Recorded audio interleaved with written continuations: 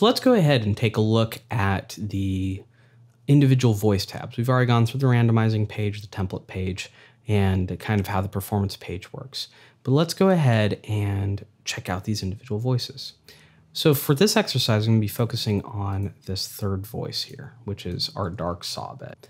Now with any uh, of these voices, as you can see, they're all different colors because each one has an effect, rhythm, bed, and texture. If I change this to a texture, it will turn to green. If I turn it back to bed, it will turn this kind of orange tan color. So this way you can kind of know what style of sound you're working on just by the visuals. Now, each section, uh, this is kind of like a parent group, is what we call it. We have pitch beds, pitch textures, pitch effects, non pitch rhythms, non pitch textures, non pitched effects. With each uh, category, you can access the entire internal sound set. Uh, within uh, the Foundry. Now, we don't recommend doing direct sound sets because there's a lot of effects and internals that get applied when using this randomizer page to each of the voices. But if you know what you're doing and you feel confident working with with this and going, look, I know exactly what bright bode can sounds like, and I know how I'm going to be working with that. That's okay. Um, for this instance, I'm just going to pull up my uh, like a synth buzz saw.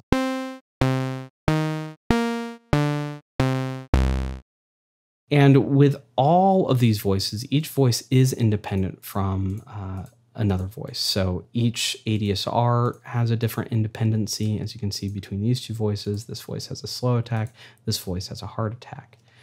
Um, for those of you who don't know what an ADSR is, uh, it's a way of shaping the volume of a given sound. So that's a nice hard attack and it sustains that. Now, if I want to give it a softer, I can when I release the note, if you notice here, I release the note, well, now that's a really long release and it takes a long time to decay versus, oh, it's still decaying, excuse me one second, versus just this. I can have it be very choppy. So that's tack and release. I can also um, change how it holds or decays or sustains. In order to activate hold and decay, I have to change the sustain value.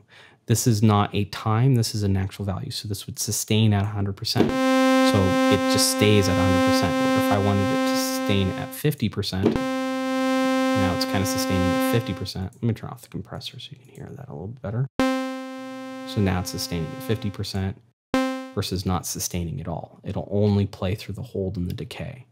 Now, hold won't do any kind of volume off information, just plays and then turns off whereas decay will give you a little bit of shape to it. See how it goes out? So I can kind of shape how the sound works by just using the envelope controls. This is standard across any standard synthesizer or um, sampler program that you can use. That's just how the ADSR, in this case is AHDSR, works. Um, so whenever you're applying a template here that's like long attack, long release, it automatically applies an attack and a release to this. Now, one quick thing to note with this ADSR is I can actually shift click and apply um, an attack to all. So I can set, say, oh, I want everything to be a hard attack. Well, I hit shift click and now everything is a hard attack.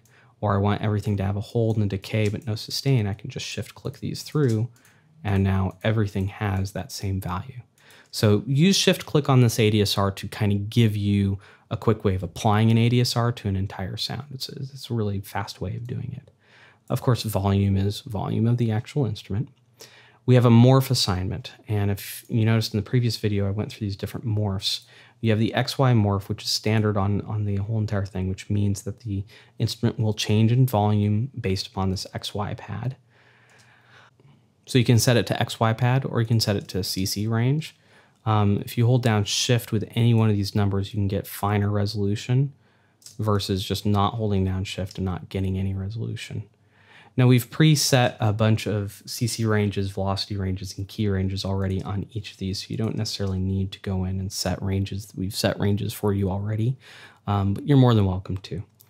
So what's cool about this velocity range, I can set up an effect where if I want to hit it at a higher val value, I can have an effect like a big hit uh, happen at a higher range. In this instance, this particular effect, because it's on the first voice, is set to a lower range. So if I play really soft, I'll get the sound.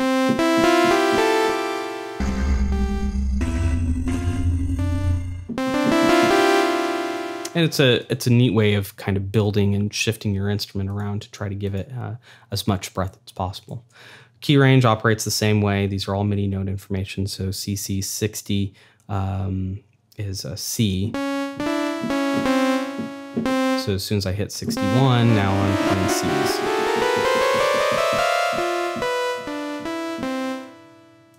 And then always on, doesn't matter what's going on, it will always play. So I can move the XY pad around and it won't do anything because this voice is selected always on. And again, through the templates, you're able to quickly say, okay, well, everything's going to be in key range, everything's going to be in CC range, everything's not going to be morphing at all, so it's going to be always on. Or you can set it just back to the XY and get back to just using what's on the front page. Um, I can turn on and off keyboard tracking. So what keyboard tracking does is as I play a C, it will play a C. Um, if I don't play a C, if I turn off keyboard tracking, it'll play whatever root note I have selected here. So if I hit listen and press C, now it's changed to C3. Doesn't matter what note I'm playing, it will always play a C. This is really useful when you're dealing with textures that you don't want to have um, changing in pitch. Um, so you can just kind of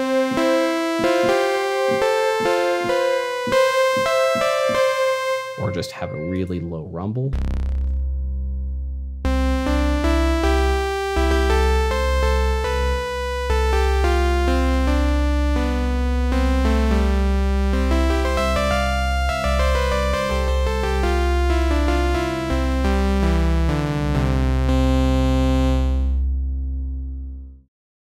Same goes for mono and poly. So um, this is mono mode. So mono mode doesn't matter.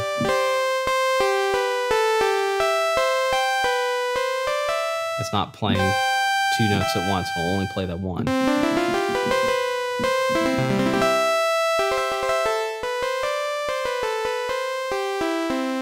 Versus poly mode, I can play chords. You can lock the voice from here if you want. Now notice if I hit the randomize button, it doesn't matter because the, this randomizer lock only applies to the actual randomizing page. Now you can set up different parameters on this instrument. So we have sequencers, grainers, bodies, compressors, distorters, delays, rotors, panners, and the actual sends of the instrument. Now I'm going to talk about the sequencer in a completely other video because there's a lot to deal with with this sequencer. But for, for now, let's talk about the grainer. Now what the grainer does is it takes little tiny slices of the sa sound. So, so say this sound right here. Uh, let's find a good sound.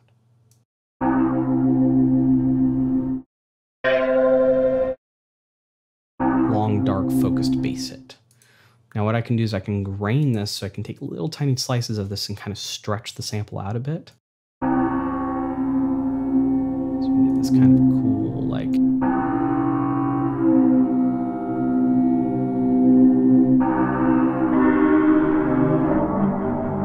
versus the original sound again.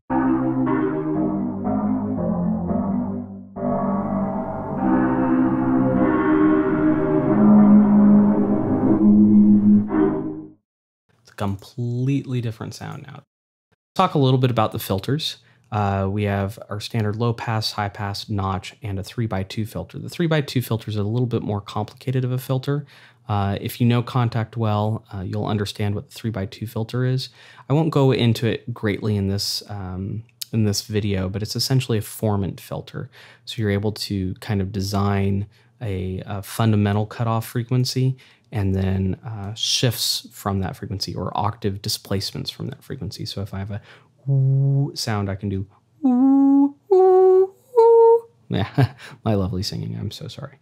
Um, and then change the resonant and type and various things. If you know what you're doing within Kontakt and you know the 3x2 filters that Kontakt have, we allowed this as an opportunity for you to use. Otherwise, don't worry about it. But low pass, high pitch, high pass, and notch are the most common filter types. Um, low pass essentially will let low frequencies pass through. Resonances will apply a bit of kind of a, a ringing, almost feedbacky style tone to it. Uh, high pass is the opposite. It allows high frequencies to pass through.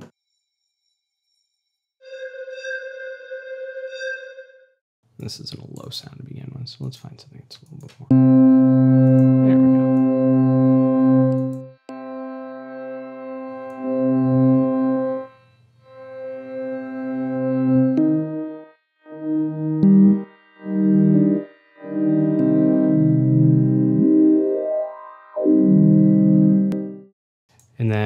Notch filters or they just take a very specific band and kind of cut out from it. So it's allowing both high and low frequencies through, but it'll it'll carve out a little section in the middle. So let's take a look at some of these different body types.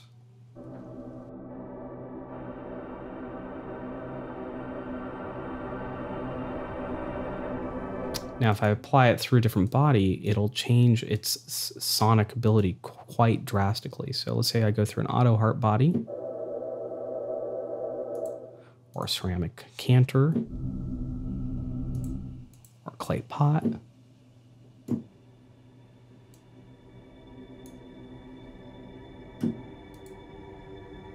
Or deep guitar body,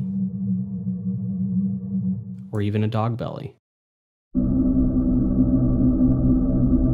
You can drastically change just based on this body type the sound. So if you're really not quite happy with the sound, try a couple of these different IR types. And of course you can randomize a lot of these and just get a lot of different different timbres and, and styles to the sound. Compressor, this is just a sim simply way of, of kind of making the instrument a little bit louder or more present. Um, you're able to get through and kind of just make the timbre or the amplitude uh, variance within the instrument a little bit more squashed and, and compressed, um, as well as maybe give it a little bit of attack or or whatnot. Um, if you notice here when I'm turning things on and off, it actually does change the um, the the color here, so you can kind of quickly see what's on, what's off. Distortion, there's three different types of distortion. There's the regular driving distortion,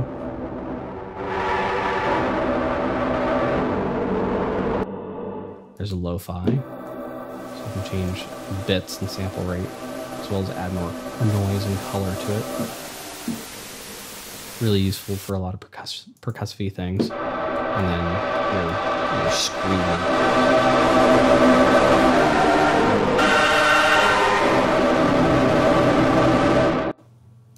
And then we also have delays. If you notice up here in the corner, this shows you how the duration of the delay in length of 30 second notes. So if I have four 30 second notes, ah, of course, it would help to have the master power button on. So this is based off of the master tempo, either given by the DAW or by standalone Kontakt. Right here, it's 120.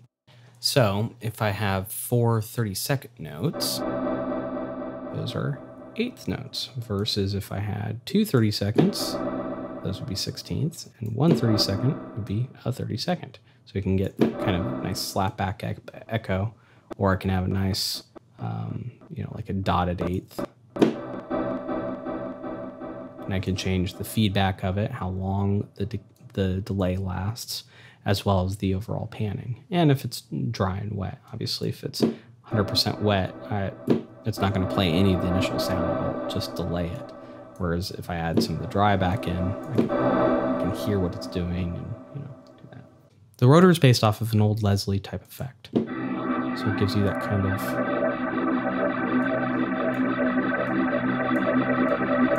it has two different speeds. You can bounce between the low and the high, and then also the distance of that. Now, Panner's a bit unique. Um, Panner's a really cool feature. You can actually apply LFO to the pan. So you can get a nice wobbly back and forth. I turned off. I can start placing instruments based upon the pan. I can also switch to surround mode. Now in surround mode, you're going to need to change your output structure here.